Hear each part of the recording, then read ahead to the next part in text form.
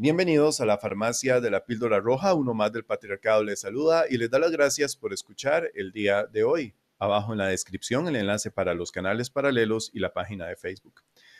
Hace un tiempo un amigo me recomendó la lectura de un libro que se llama El Secreto, que estuvo muy de moda hace algunos años y la verdad es que yo nunca he sido como de leer ese tipo de literatura, pero me puse a ver, a chequear un par de páginas y me di cuenta de que era esta misma historia que tal vez había visto en crítica de otros videos al libro y, que simplemente lo había confirmado con mis ojos, que decía que la persona positiva atraía energías positivas a, su vida y que esto lo hacía un ser especial y que ese era el secreto que compartían grandes personalidades al unísono como Mozart, Beethoven, Newton, eh, etc. Y me pareció una de las cosas más mediocres que he visto en mi vida y es porque ellos lograron lo que han logrado con esfuerzo. Mozart, si bien nació genio, no quiere decir que no haya estudiado o que Newton no se haya quemado las cejas creando el cálculo y ciertas operaciones eh, matemáticas y fundamentos científicos que no son útiles el día de hoy. Este tipo de, mediocridad positivista que viene mucho de la, era de los hippies que crearon toda esta onda progre que nos está perjudicando el día de hoy, lo único que hace es llenar de mediocridad los éxitos, el esfuerzo y los triunfos de las demás personas. ¿Y cuál es el problema cuando el hombre es demasiado positivo? Que se vuelve una persona totalmente crédula. Una persona positiva cree cualquier cosa que le digan porque su mentalidad es la aceptación. Entonces ahí vienen este tipo de sujetos que escuchan contenido de púas, que se creen realmente lo que dicen los púas y que creen por este pensamiento positivo que se aplican estas, entre comillas, enseñanzas que les están dando, van a tener éxito con las chicas. Y esto es completo y totalmente falso. Y es solo un ejemplo del problema que conlleva cuando un hombre es positivista. Y el problema del positivismo, del positivismo es que te va a hacer también una persona crédula. Y la persona crédula cae en las garras de cualquier persona que diga lo que sea simple y llanamente porque suene bonito tú lo vas a creer. Y esa es gran parte del problema que hay con los hombres que escuchan contenido púa y salen efectivamente a la calle a ponerlo en, en acción y lo único que van a descubrir es que no funciona. Y el problema también con estos crédulos o estos positivistas empedernidos es que no hay nadie a quien se señale más cuando la calamidad toca su vida que la persona positiva. Como toda la vida ha pasado predicando que hay que ver el lado bueno de las cosas, cuando le toca enfrentar la calamidad en la vida, que a todos nos va a tocar en algún momento, estas personas no pueden mostrar debilidad porque van a ser inmediatamente señalados por los demás. Son personas tan positivistas y tan crédulas que cualquier versión de los hechos los va a hacer sentirse satisfechos y esto conlleva de que no van a pensar con su propia cabeza, sino que se van a inundar de las ideas de alguien más.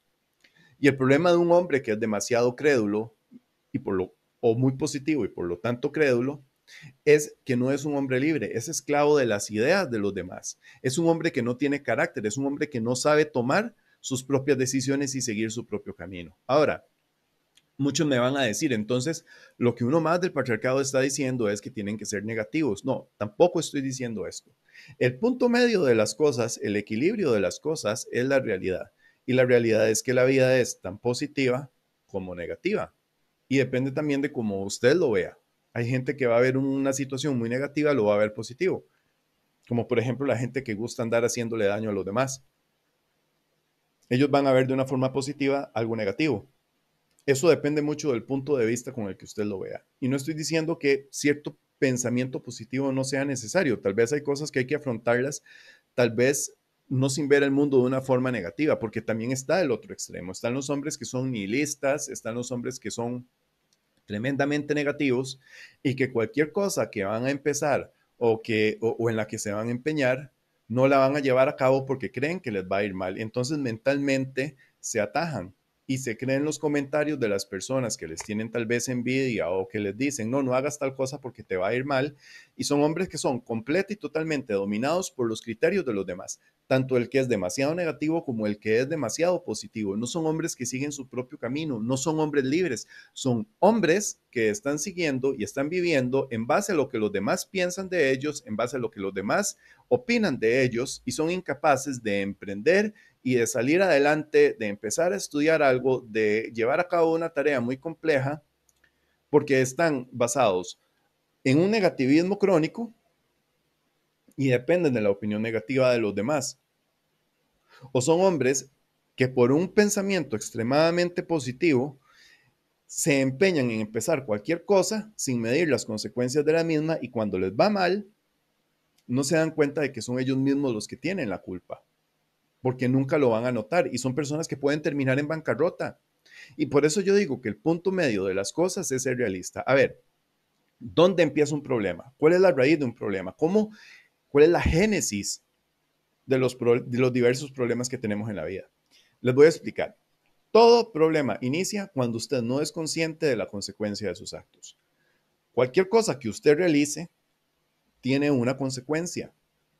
Repito, cualquier cosa que usted realice, cualquiera, tiene una consecuencia. Si usted no es consciente de cuáles son las repercusiones de sus actos, es cuando usted se mete en un problema. Por ejemplo, los hombres que regresan a la plantación o que están en la plantación todavía. El sujeto que salió ayer con una chica, con una amiga y tuvo relaciones. Ese sujeto midió solo el momento, pero no está, no está midiendo que una de las consecuencias de sus actos es tener un hijo y que va a terminar agarrado de sus glándulas reproductoras por el Estado y por ella misma y se va a convertir en un esclavo.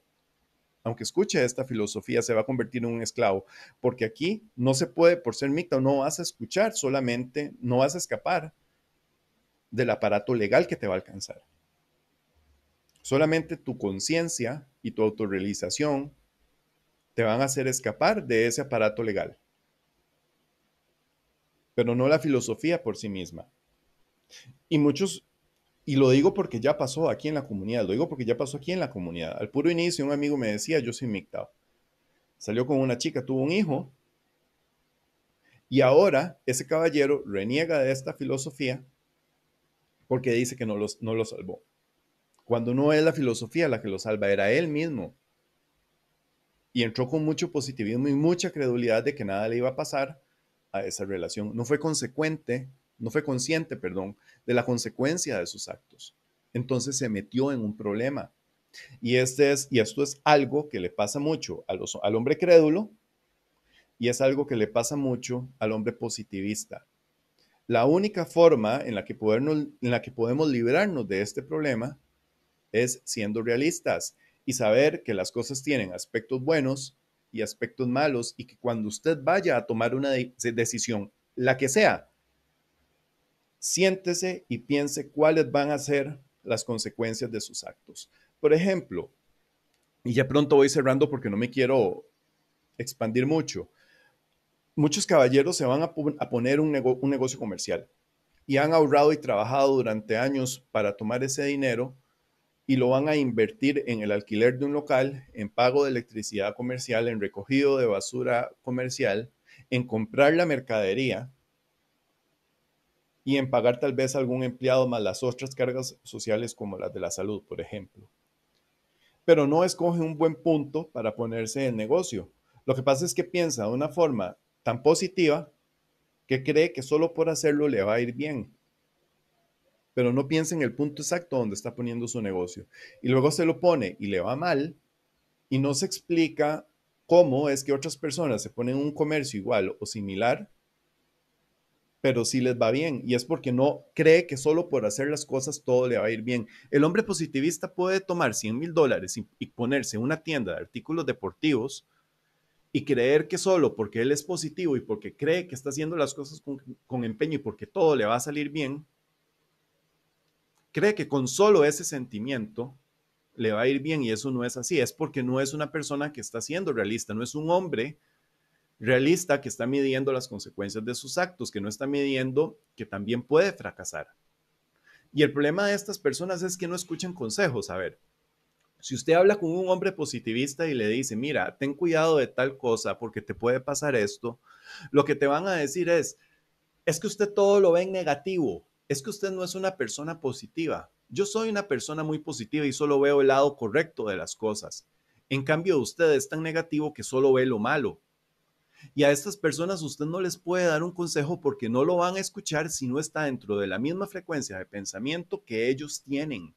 Y hay gente que se arruina porque es crédula de su propia positividad, de su propio positivismo. Y no se les puede dar un consejo porque no lo escuchan si no está en pro de sus creencias.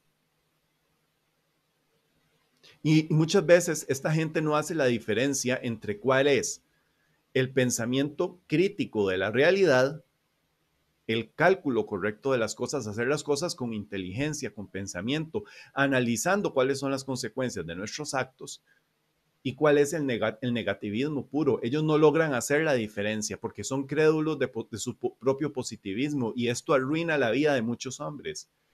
Por ejemplo, muchos hombres que entran al matrimonio y que llegan y dicen, no, a mí me va a ir bien porque voy a entrar a esta relación siendo positivo, voy a entrar a esta relación viendo solo el lado correcto de las cosas y la voy a manejar en positivo para que nada me salga mal. Y cuando se topan con la realidad,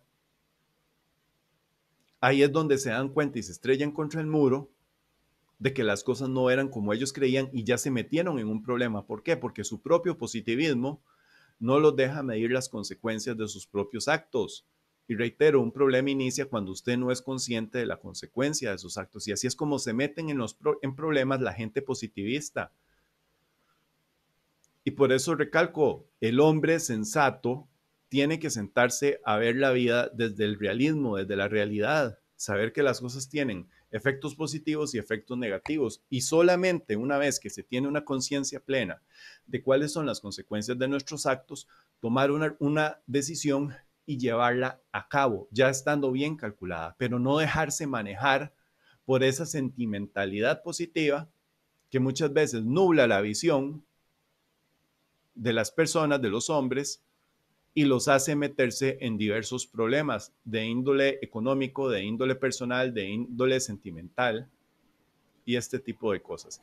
Recuerden, no se trata de ser extremadamente negativo, no se trata de ser extremadamente positivo porque en cualquiera de los dos espectros vas a ser un hombre crédulo y el hombre crédulo termina siendo esclavo de las opiniones de alguien más y de los sentimientos de alguien más. Se trata de ser una persona que está en el centro, que es simple y llanamente realista y que tiene carácter propio para analizar las cosas y saber discernir entre qué es bueno y qué es malo.